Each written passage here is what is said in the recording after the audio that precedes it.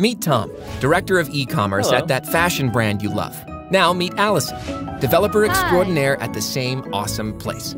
Tom loves his job and watching sales on the up and up, but today's not Tom's day.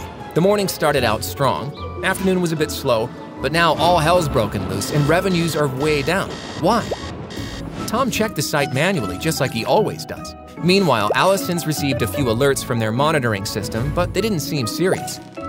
She gets notifications like these all the time. I'll let you in on a little secret. Neither Tom nor Allison knows the operations team updated inventory this morning, and it's thrown everything off. So when shoppers visit their site, tons of products are out of stock. And worst of all, this could have been avoided. At Shopimon, we get it. Everyone from every team should have all the info they need on store health and performance when it matters most. So we got rid of endless error logs, noisy, unclear alerts, and scripting. Yep, Shopimon codes and sets itself up for you.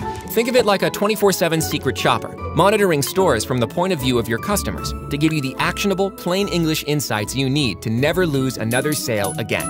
Oh, and to never have another day like poor Tom or Allison over there. I mean, that's just really sad. I mean, really, that's just sad. Shopimon, because we've all got issues.